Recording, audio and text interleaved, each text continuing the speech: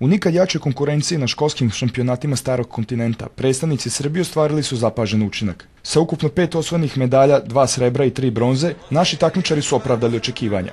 Među najmlađim šahistima u uzrastu do 9 godina treće mesto osvojio je Luka Budisavljević. Očekivao sam čak možda i malo bolji plasman, ali i ovim sam zadovoljan. U starijim uzrasnim kategorijama srebrna odličja pripala su Jasmini Gajčin do 17 i Stefanu Stojiljkoviću do 15 godina, dok su bronze oko vrata poneli Mila Žarković do 17 i Velimir Ivić u konkurenciji do 11 godina. A, očekivao sam. Bio sam takav i na startnoj listi po rejtingu. Treće mesto.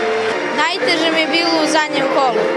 Jer ako se izrašava kako meni treba, onda sam treća. Ako ne, ne desi se tako, onda sam četvrti. Ovo je bila dobra prilika za naše šahiste da steknu neophodno iskustvo za prestojeća značajne takmičenja, ali i za popularizaciju ovog sporta u Novom Sadu i Srbiji.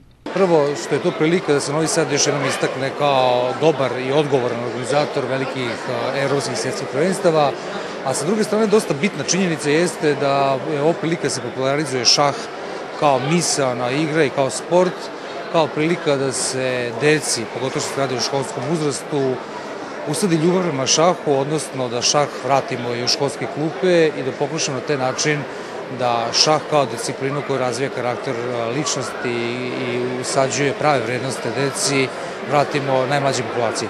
Najuspešnija nacija na šampionatu je Turska koja je ostvarila najbolje rezultate posle devet odigranih kola u 12 uzrasnih kategorija.